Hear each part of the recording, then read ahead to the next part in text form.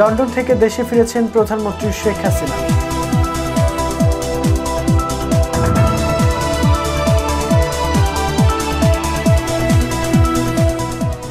আজ থেকে শুরু পবিত্র হজের আনুষ্ঠানিকতা।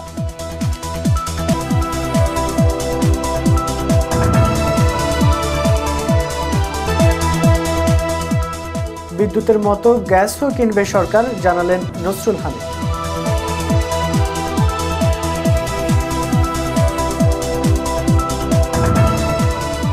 এবং বৃষ্টির সাথে ট্রেনের বিলম্ব, দুর্ভোগের ঘরমুখো যাচ্ছে।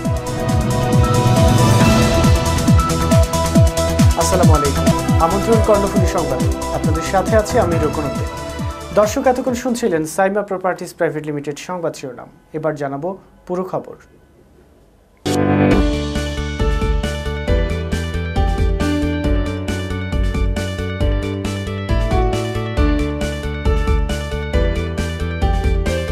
দালান নির্মাণের এক বিশ্বস্ত প্রতিষ্ঠান, সাইমা প্রপার্টিজ প্রাইভেট লিমিটেড, আপনার উপরে ওঠার সঙ্গী। যুক্তরাজ্য সফর শেষে দেশে ফিরেছেন প্রধানমন্ত্রী শেখ হাসিনা। সকাল সাড়ে দশটার দিকে তাকে বহনকারী বিমান বাংলাদেশ এয়ারলাইন্সের ভিভিআইপি ফ্লাইট রাজধানীর হজরত শাহজালাল আন্তর্জাতিক বিমানবন্দরে অবতরণ করেন। এর আগে লন্ডন সময় বুধবার বিকেল ছটা পঞ্চান্ন মিনিটে ওই ফ্লাইট ঢাকার উদ্দেশ্যে লন্ডনের হিথ্রো আন্তর্জাতিক বিমানবন্দর ত্যাগ করে। প্রধানমন্ত্রীর প্রেস সচিব ইহসানুল করিম জানান, এদিন লন্ডনের স্থানীয় সময় বিকেল ছটা বিশ মিনিটে বিমান বাংলাদেশ এয়ারলাইন্সের একটি ভিভিআইপি ফ্লাইট প্রধানমন্ত্রীকে নিয়ে ঢাকার পথে লন্ডনের হিথ্রো আন্তর্জাতিক বিমানবন্দর ত্যাগ করেন।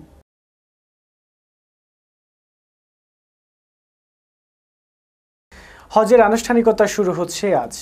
রাতে এশার নামাজ শেষে মিনার উদ্দেশ্যে হাজিদের রওনা হওয়ার মধ্য দিয়ে হজের আনুষ্ঠানিকতা শুরু হবে। সৃষ্টিকর্তার আনুগত্য ও পাপ মুক্তির আশায় শুক্রবার সারাদিন তাবুর নগরী মিনায় অবস্থান করে পাঁচ ওয়াক্ত নামাজ আদায় ও ইবাদত বন্দগীতে মশগুল থাকবেন আল্লাহর মেহমানরা। শনিবার ফজরের নামাজ শেষে হজের মূল আনুষ্ঠানিকতা পালনে আরাফাত ময়দানে সমবেত হবেন মুসল্লিরা। সেখানে হজের মূল খুতবা এবং জোহর ও আসর নামাজ একসাথে আদায় করবেন। সন্ধ্যায় মুজদালিফায় গিয়ে আবারও মাগরিব ও এশার নামাজ আদায় করবেন এবং পাথর সংগ্রহ করবেন। মুজদালিফায় রাত থেকে পরদিন আবারও মিনায় ফিরে আল্লাহর সন্তুষ্টির জন্য পশু কোরবানি ও শয়তানকে পাথর নিক্ষেপ করবেন। এরপর মাথার চুল ছেঁটে মক্কায় গিয়ে কাবা শরীফ তাওয়াফের মধ্য দিয়ে শেষ করবেন হজের যাবতীয় আনুষ্ঠানিকতা।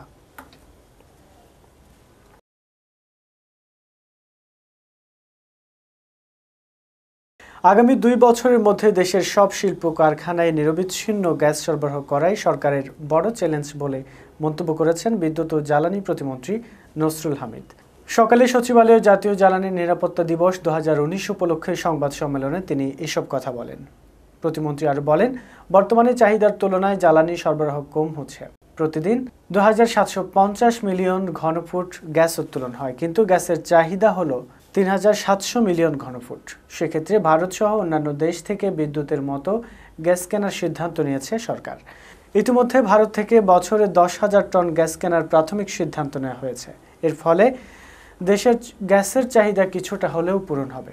এছাড়া গ্যাসের চাহিদা মেটাতে সরকার ইতিমধ্যে ভোলাসহ দেশের কয়েকটি জায়গায় গ্যাস উত্তোলনের চেষ্টা করছেন। সেসব জায়গায় টেকনোলজির কাজ চলছে বলে জানান বিদ্যুৎ প্রতিমন্ত্রী। আমরা ভারত থেকে আমরা বিদ্যুৎ নিচ্ছি, আমরা জ্বালানি ক্ষেত্রেও আমরা গ্যাসের সম্ভাবনা দেখছি ভারত থেকে নেওয়ার জন্য। কেন নিচ্ছি? আমরা নিজেদের সিকিউর করার জন্য। অর্থাৎ জ্বালানি ক্ষেত্রে যেন আমরা কোনো সময়ে আমরা কোনো পিছিয়ে না থাকি। আশা করছি যে আগামী দুই, তিন বছরের মধ্যে আমরা একটা ভালো জায়গায় পৌঁছাতে পারব। আরও বেশি নিরবিচ্ছিন্ন হবে জ্বালানি। ঈদকে সামনে রেখে দ্বিতীয় দিনের মতো রাজধানী ছেড়েছে ঘরমুখ মানুষ। কিন্তু বৈরী আবহাওয়ার কারণে ঘরে ফেরা মানুষ দুর্ভোগে পড়ছেন। রাজধানীর কমলাপুর রেল স্টেশনে দেখা গেছে যাত্রীদের উপচে পড়া ভিড়। অতিরিক্ত চাপ সামলাতে রেলে আজ থেকে যুক্ত হয়েছে তিনটি বিশেষ ট্রেন। মেইল, আন্তনগর ও বিশেষ ট্রেন সহ মোট পঞ্চান্নটি ট্রেন ষাট হাজার যাত্রী দেশের বিভিন্ন গন্তব্যে যেতে পারবেন। এদিকে সকালে আজ দুই ঘণ্টা বিলম্বে ছেড়েছে দুটি ট্রেন। গুড়ি গুড়ি বৃষ্টি উপেক্ষা করে নির্ধারিত সময়ের আগেই কমলাপুর স্টেশনে উপস্থিত হন যাত্রীরা। ডেঙ্গুতে আরও ছজনের মৃত্যুর খবর নিশ্চিত করেছে স্বাস্থ্য অধিদপ্তর। এ নিয়ে সরকারি হিসেবে মৃতের সংখ্যা দাঁড়িয়েছে উনত্রিশ জনে এদিকে, গত চব্বিশ ঘন্টায় ডেঙ্গু আক্রান্ত হয়ে সারা দেশের বিভিন্ন হাসপাতালে দুই হাজার তিনশো ছাব্বিশ জন রোগী ভর্তি হয়েছে বলেও জানায় স্বাস্থ্য অধিদপ্তর। স্বাস্থ্য অধিদপ্তরের হেলথ ইমার্জেন্সি অপারেশন সেন্টার ও কন্ট্রোল রুমের তথ্য অনুযায়ী চলতি মাসের প্রথম সাত দিনেই পূর্ববর্তী মাস জুলাইয়ের প্রায় সমান ডেঙ্গু আক্রান্ত রোগী হাসপাতালে ভর্তি হয়েছেন। গত জুলাই মাসে যেখানে আক্রান্ত রোগীর সংখ্যা ছিল ষোলো হাজার দুশো তেপ্পান্ন জন। সেখানে আগস্টের প্রথম সাত দিনেই সারা দেশে ডেঙ্গু আক্রান্ত হয়েছে পনেরো হাজার আটশো উনআশি জন। সরকারের হিসেব বলছে, ডেঙ্গু রোগে আক্রান্ত হয়ে চলতি বছরের জানুয়ারি থেকে এ পর্যন্ত মোট মৃত্যু হয়েছে উনত্রিশ জনের। এর মধ্যে গত এপ্রিলে দুজন জুনে তিনজন, জুলাইতে পনেরো জন এবং আগস্টে নজন মারা গেছেন।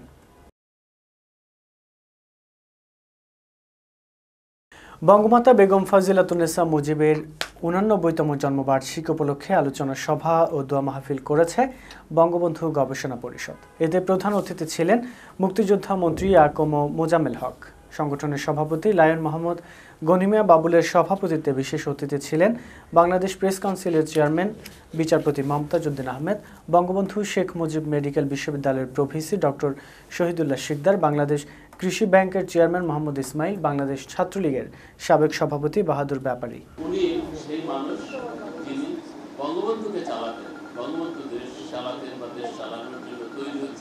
স্বাধীনতার জন্য। উনি একজন মহিষী নারী মহান নেত্রী। ওনার জন্মদিবসে যদি আমরা কোনো অনুষ্ঠান করি বা যে কোনো ওনার স্মৃতির প্রতি শ্রদ্ধারে অনুষ্ঠান করি, তাহলে কিন্তু হিসাব করে বের করতে হবে ওনারা কি চেয়েছিলেন।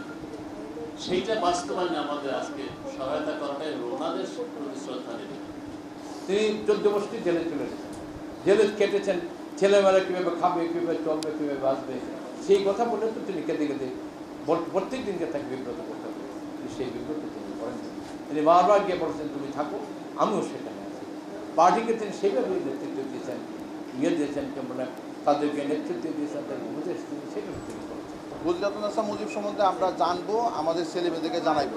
বিশেষ করে নারী সমাজ যদি জানতে পারে, তাহলে তার ঘরে যেমন শান্তি প্রতিষ্ঠিত হবে, তার ছেলেমেয়েরাও এরকম আপনার মানে দেশে বিদেশে এরকম সুনাম অর্জন করতে পারবে এবং জাতীয় পর্যায়ে আন্তর্জাতিক পর্যায়ে রাখতে পারবে। সংবাদ শেষ করব। তার আগে সাইমা প্রপার্টিজ প্রাইভেট লিমিটেড সংবাদ শিরোনামগুলো জানিয়ে দেব আরও একবার।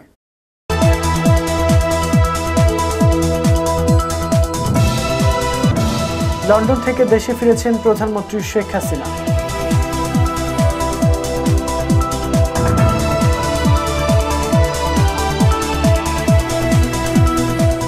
আজ থেকে শুরু পবিত্র হজের আনুষ্ঠানিকতা।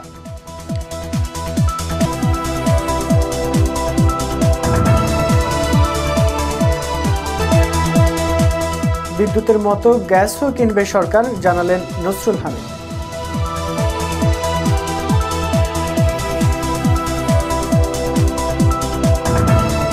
এবং বৃষ্টির সাথে ট্রেনের বিলম্ব, দুর্ভোগে ঘরমুখো যাচ্ছে।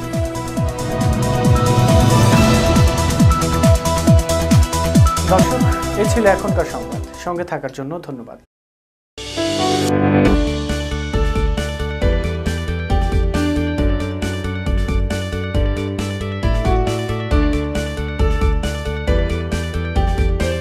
দালান নির্মাণের এক বিশ্বস্ত প্রতিষ্ঠান সাইমা প্রপার্টিজ প্রাইভেট লিমিটেড আপনার উপরে ওঠার সঙ্গী।